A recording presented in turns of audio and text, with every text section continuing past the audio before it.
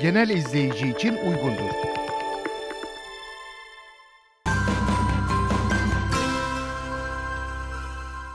Merhaba, ben diş doktor Deniz İnce. Bugün sizlere gülüş estetiğini sağlamak için uyguladığımız yöntemler ve kullandığımız materyaller hakkında bilgi vereceğim. Porselen laminate fener, IMEX kronlar ve zirkonyum kronlar gülüş estetiğini sağlarken sıklıkla tercih ettiğimiz yöntemlerdir.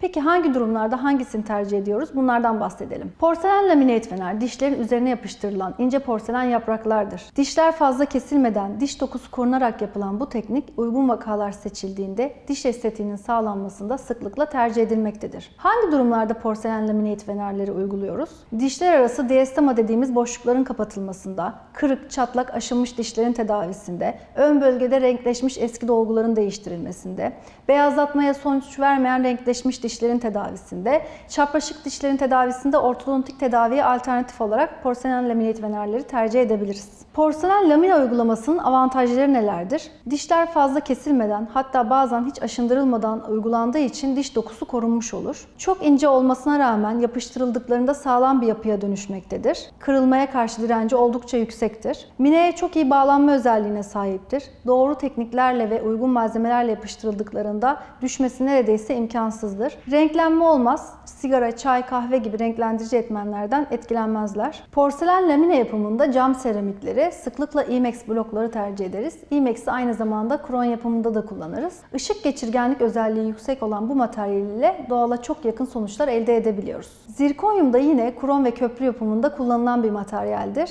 Zirkonyum doğada bulunan bir elementtir. Metal içermez. Biyouyumluluğu yüksek, diş etini seven antialerjik bir materyaldir. IMEX ile karşılaştırıldığında ışık geçirgenlik özelliği daha azdır. Ancak zirkonyum ile de estetik sonuçlar elde edebilmek mümkündür. Zirkonyum sağlam bir materyaldir. Arka bölge dişlerde ve köprü yapımlarında da kullanılabilir. IMEX ise daha çok ön bölge uygulamaları ile sınırlıdır. Bu üç malzeme ile de estetik sonuçlar elde edebilmek mümkündür. Başlangıçta gülüş tasarımı yaparak ve vaka doğru analiz edilerek kullanılacak olan yöntem ve materyal seçilir. Finalde hastalar sağlıklı ve güzel bir gülüş elde etmiş olur.